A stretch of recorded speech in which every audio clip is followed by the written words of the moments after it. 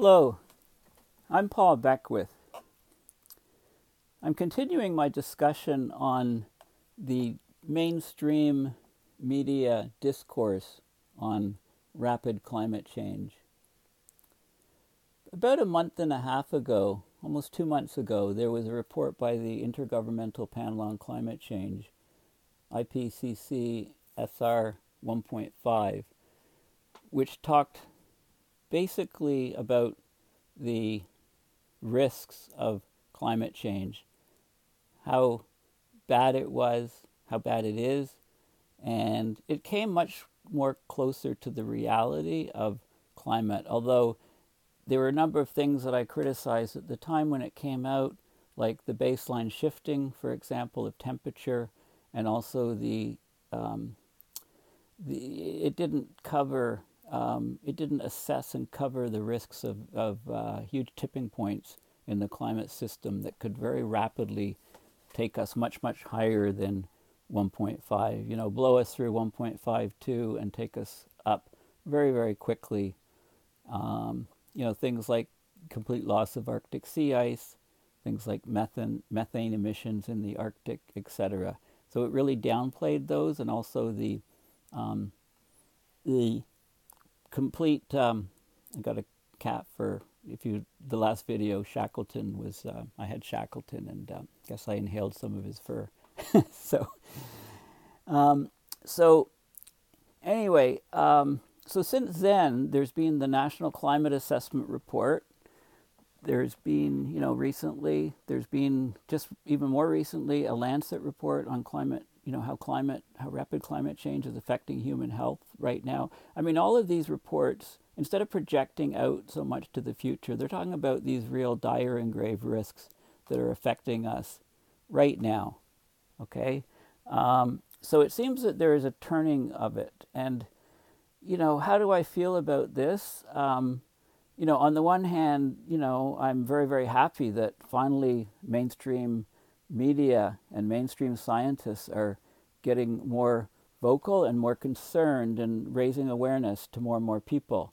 Um, it's still nowhere near enough, but at least it's happening. We're getting, you know, I've talked about the idea of having a tipping point in human understanding on the climate issue, and we haven't reached that, probably far from it, but at least there's movement in that direction. Um, so, you know, and I, I've been talking about, you know, a climate emergency. We're in a global climate emergency. I've been talking about this for a long time now. So the fact that the mainstream is heading closer and closer towards this, you know, is a positive thing. Um, but it's also, you know, I was kind of hoping I was wrong. so, you know, it's it's it's mixed, a mixed bag of, of feelings. Um, I was hoping there was some stuff that was missing, and maybe climate wasn't as bad as uh, as I thought. Okay, but um, that's not turning out to, to be the case. So let me get back to where I was from the last video. Okay, so I was talking about the CO2 level and methane level and nitrous oxide level in the atmosphere, how they're continuing to rapidly increase. Now, another report that came out um, just a few days ago was the emissions gap report. This is a UN report talking about the gap in emissions. Basically, how much do we have to reduce emissions to have any hope to keep global temperatures well below 2 degrees above pre industrial levels or even 1.5 degrees? Okay, so even these assessments, so if I, if you, I clicked on the executive summary English, and I have this document here, and I'll just talk about some of the key, uh, key highlights in this. Okay, uh, where's my page down? Page down. Okay, so the executive summary. Basically, let's have a look at this. So they say it's technically possible to bridge the gap to ensure global warming stays well below 2 degrees and 1.5, um, which I disagree with. But if these nationally determined con- contributions, um, which are, you know, it's IPCC jargon. Um, nationally determined con- um, concentrations, rather. If they're not increased, then there's no possible way we can um, maintain the 1.5 degree goal. That's what they're saying. Um, let me go to a plot in here which is, is rather useful. Okay, uh, sorry, page down, page down, page down, page down. Here we go. Okay, so this is 2015 to 2030. This is no policy baseline of gigatons of CO2 equivalent globally being emitted.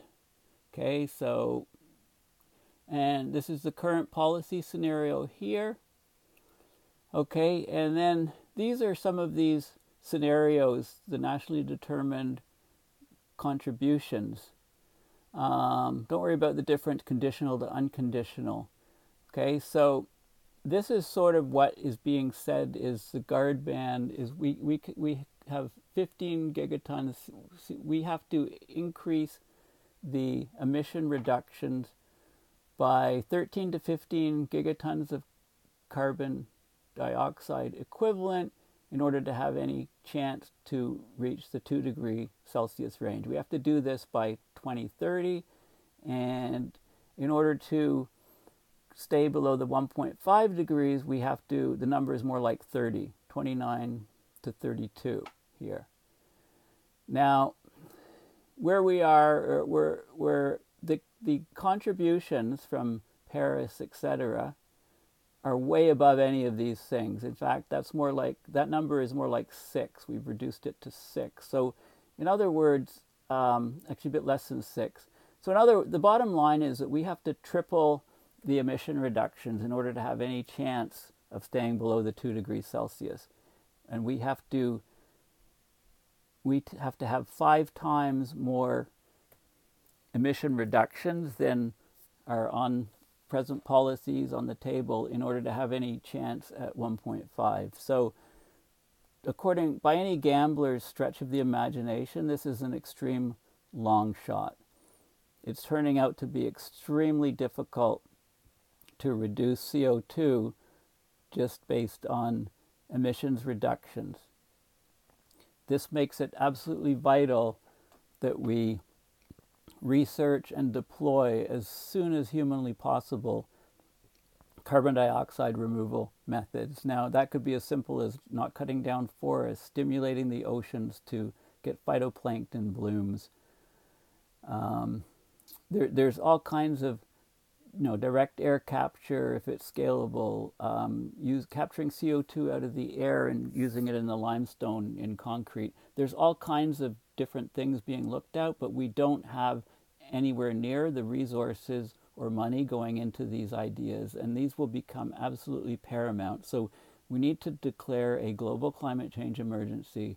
We need to study as quickly as possible and deploy ways to remove CO2 from the atmosphere while we're doing these other things, not just CO2, but also methane and nitrous oxide. And we need solar radiation management techniques because we lose the Arctic sea ice, everything is going to greatly accelerate. Now, in the US, the fourth National Climate Assessment was just released recently, and this talks about all of the effects on the uh, U.S. Okay, on you know the different impacts, and this is definitely worth a separate video. Okay, so but you can have a look. You can find it in the link to the original Forbes article, or just Google Fourth National Climate Assessment. Okay. In the Lancet now, Okay, the Lancet report just came out, okay, on the health impacts, climate change and health impacts shaping the health of nations for centuries to come. And again, um, that's well worth a separate video. Okay, um, the UK Parliament um, very, very recently have, has was discussing a new there was an eight month inquiry, and then there were some new documents on the changing Arctic, for example. Okay, um, plastics in the Arctic, the Arctic feedbacks, the timelines, etc. You know, the Arctic is changing. I mean, this is the chair of the Environmental Audit Committee is saying the Arctic's changing rapidly, warming twice as fast. It's actually more like three times as fast as the rest of the planet. This brings potentially catastrophic consequences for the global climate, as well as commercial opportunities and risks, et cetera, et cetera, et cetera. Okay, it talks a bit about some of the changes in the Arctic. So the language in these documents, the key point I want to make in this video is that the language in this, these documents, these government documents, these mainstream media documents is getting more and more dire. This is the um, report, the global warming of 1.5 degrees Celsius, the IPCC report from um, yeah a month and a half ago. So this is kind of the trigger. You know, it kicked off all of these other um, mainstream media, you know, recognition of the problem, etc. So this is a technical summary. Probably also um, good for an entirely separate video. Now, you're wondering, okay, what do we do about all this? I mean, we're, we're obviously in a very grave situation as far as climate goes. So this is a Wired article. The climate apocalypse is now, and it's happening to you. So they did a survey here. Well, they didn't do a survey. They reported on a survey. They were talking about the cl- climate change is a roller coaster of human ignorance. Wait, everybody knows that. Have you ever talked to people and said, you know, talk, told them how bad climate is, and they say, well, I mean, my mother says this. You know, my mother-in-law says this. They say, well, we we all know that. We know that right? Well, wait a minute. People do not have any idea on how bad climate change is, and they don't really, a lot of people just don't want to know. Um, and they say, well, we know that. We know it's bad, but, you know, I'm not going to think about it because I can't do much about it. So Yale does a lot of these climate surveys, okay? And recently, you know, it's U.S. surveys. 74% of women and 70% of men believe climate change will harm future generations of humans. But of those numbers, only 48% of women, 42% of males, respectively, think that it's harming them personally. So those numbers are getting higher. But, you know, more and more people around the globe are being affected personally, directly by climate change. So here's uh, something here. Now this talks a bit about the, this is from the Lancet report. Okay, 157 million more people experienced a heat wave in 2016 than in 2000. That's around the globe, 12.3 million Americans. The heat and the injuries that could come from the cost, that basically come from the cost of this, okay, around the world, 153 billion hours of labor around the world. 1.1 billion in the US, okay?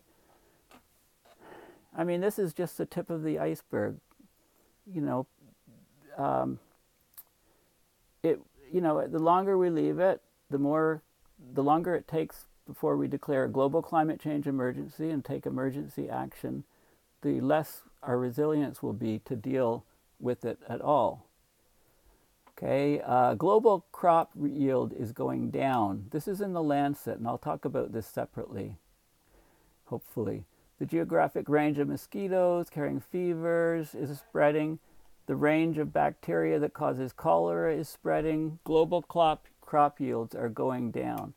Okay, and then they talk about, um, okay, so it talks about, so all of these reports, they're talking about how climate change is affecting people now, today. Forget about 2100. Forget about your grandkids. Okay, today, every day, climate change is affecting people around the world. Okay, I've talked about it as a climate casino. You know, one city gets hit by torrential rains, is flooded out. You know, luck of the draw a bit. You know, it's on a coastline and uh, you know hurricane comes ashore and just stalls and stuff. So it's not just complete luck of the draw it's on a coastline. You know there's geographic factors that make cities more vulnerable than other cities. You know even oil companies understand that burning fossil